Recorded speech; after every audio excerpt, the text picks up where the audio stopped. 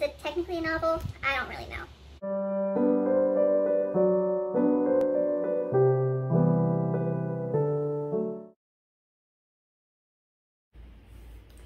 Hello, my lovelies. I hope you're having a wonderful day.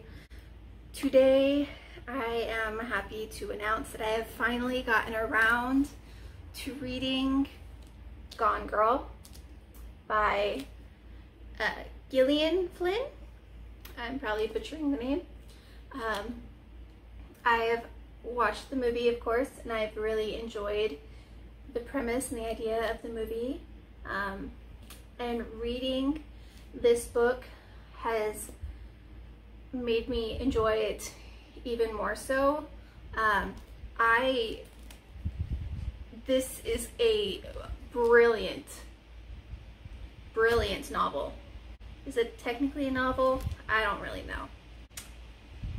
Um, but it's a, a fiction. Uh, they consider it mystery and detective. Ooh, fancy. Uh, but I mean, it yeah, it is a mystery because um, you're pretty much following two different people and their points of views, um, and just how it's written, in the style it's written, it's just. I honestly, it, I've never read anything like this before, and like the twist it takes since I did watch the movie first, I knew what was going to happen.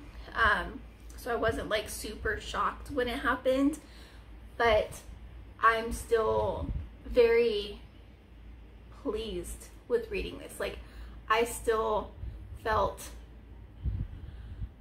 excitement and curiosity and what is going on? Why is she doing what she's doing? And, you know, why is he doing what he's doing? And it was just all still like a bit of a mystery to me because you get just that much more detail and in-depth between the two main characters than you did in the actual movie.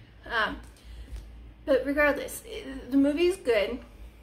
The book, absolutely brilliant.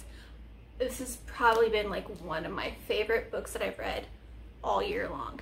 And if you haven't read it, I really recommend that you do um, because it's it's really good and it gets you thinking and exploring just a new way of writing. Um, so let me know your thoughts if you've read it or if you want to read it or plan to read it. Um, and I just, I really liked this book and I really want to read the other books that she has to offer um, because apparently she's the best-selling author for Sharp Objects and Dark Places. So add those to my book wish list, I guess. That's all I have for this video. I hope you enjoyed it. Let me know your comments. Um, and until next time, I hope you have a wonderful day. Bye.